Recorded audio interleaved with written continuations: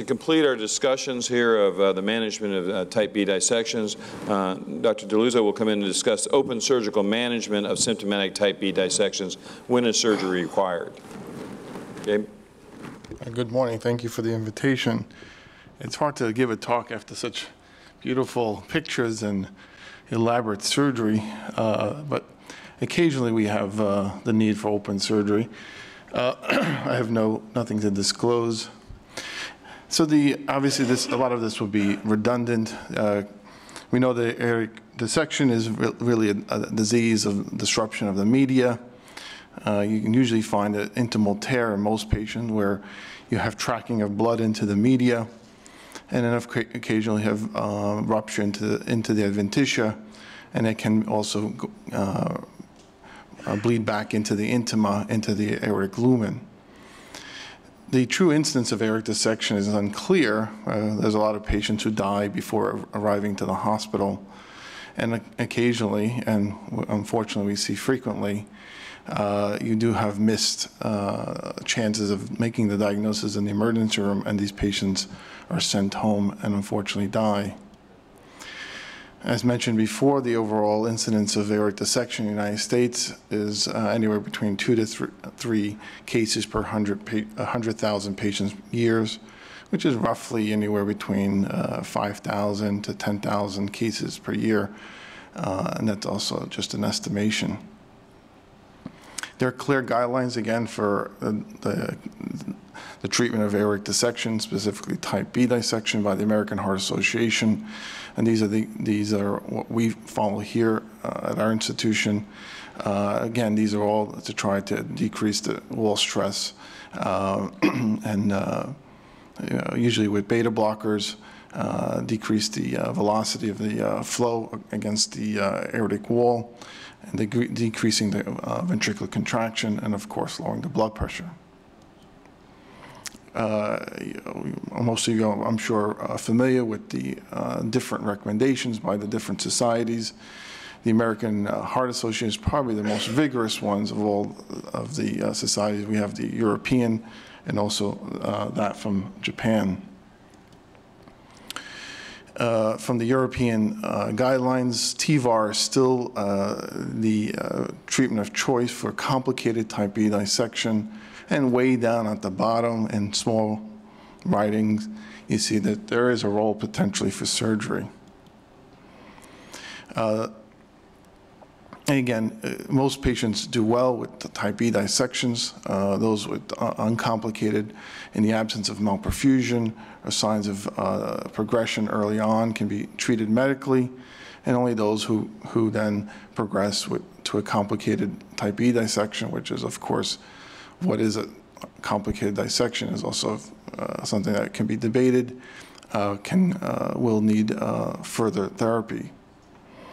And of course, the guidelines from Europe will uh, support the use of TEVAR, and this is, again, we've talked about uh, quite extensively this morning, that TEVAR seems to be the, the role of, of sorry, the therapy of choice in this patient population. So type B dissection, for now, we, uh, if they become complicated, uh, uh, there is defined as persistent pain or recurrent pain despite best medical therapy. Again, that's uh, following the guidelines by the American Heart Association. Uh, And then, of course, making sure they're maximized on all their medication and is well tolerated. Occasionally, patients don't tolerate the medical, uh, the maximum medical therapy.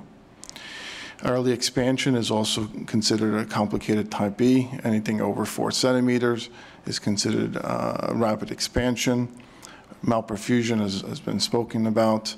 And of course, any sign of, of rupture, there's hemothorax, hemoperic, he- hemomediastinum, or there's an increase in size of the periaortic hematoma. So when is surgery uh, considered? Um, Again, TEVAR is uh, the first line of therapy for these patients, but in general, those who have disease or severe disease of the lower extremities and iliacs where TEVAR not- may not be feasible, or there's too much torsi- tortuosity of the iliac arteries. Again, there are tricks to get around this uh, endovascularly.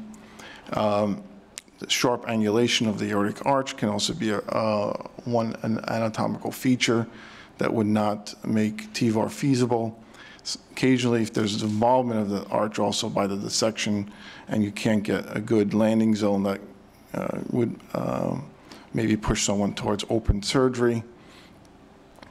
The patients with connective tissue disorders also should be considered for open surgery, although there's growing literature to suggest that maybe those patients can be bridged to uh, open surgery by uh, caring for them initially with an endovascular procedure, getting them through the acute situation, and then an open procedure at a later state. And of course, the last is obviously lack of experience in TEVAR, uh, any particular institution, although that is obviously probably a minority now in the United States. And probably the last thing, I guess, if a TEVAR is uh, um, offered to the patient and performed, and we do have persistent perfusion of the lower, of the false channel, and, it- and the original reason for the uh, need for intervention is not um, definitively cured, like uh, persistent uh, uh, hemothorax or such, then maybe those patients should also be considered for open surgery. Just looking at our own institution, uh, since 1994, we've done over 1,100 open thoracoabdominal repairs. Uh, Looking at our own registry, we've only had uh, 25 patients, again, a very small number of patients, who had open surgery for a complicated type B dissection. The overall mortality of those patients was about 8% and 4% uh, risk of uh, stroke. Uh, Looking again at our own institution, uh, this is a work of Dr. Randall Griepp. Uh, This is uh, way back in in the 1990s. Again, the number of patients he he operated on for complicated type B dissection was small. Here it's uh, 17 uh, patients uh, with a zero mortality, which is obviously very good. There was no paraplegic patients, and good news, all patients were discharged home. They offered surgery again for unremitting pain, uncontrolled hypertension, rupture, aortic dilation over seven, five, they used five centimeters, and of course, uh, any suggestion of rupture. Looking at the Texas e- experience with open surgery for type B dissection, you can see their algorithm. They started off with 400 patients, and uh, the complicated patients uh, were either uh, treated with surgery or TEVAR. They had an overall mortality of about 11% in their group, uh, with open surgery and about 13% mortality with TEVAR. Uh, But overall, uh, the the the morbidity of the surgery was higher than that of those who treated with TEVAR. And overall, the uh, survivals of patients who had open surgery for a complicated type B were quite good in this particular center, uh, matching that of uh, TEVAR and uh, slightly better than those treated with medical therapy. The uh, patients uh, in a- in the, uh, this was again mentioned before, in the um, the IRAD registry showed that patients who had open surgery had about a 17% uh, mortality uh, and slightly lower with those treated with TEVAR. Uh, But overall, it seemed that there was a push towards TEVAR as a first line of therapy in these patients.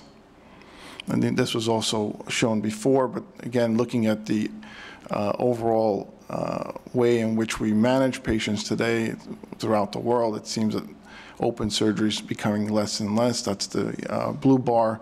Uh, Less uh, patients are uh, are offered this therapy, um, and more TEVAR, which is the orange bar.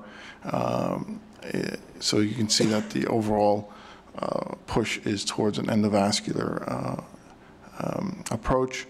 The uh, surgical morbidity and mortality, I should say the mortality, uh, seems to be roughly in the lower teens. Um, And the last uh, sort of period in which they looked at this, the number wa- was very, very slow, the overall number of open surgeries, so the number of deaths uh, was a little bit higher in terms of percentile. So overall, uh, patients who have a uh, complicated type B, if they're managed uh, just conservatively, uh, have a poor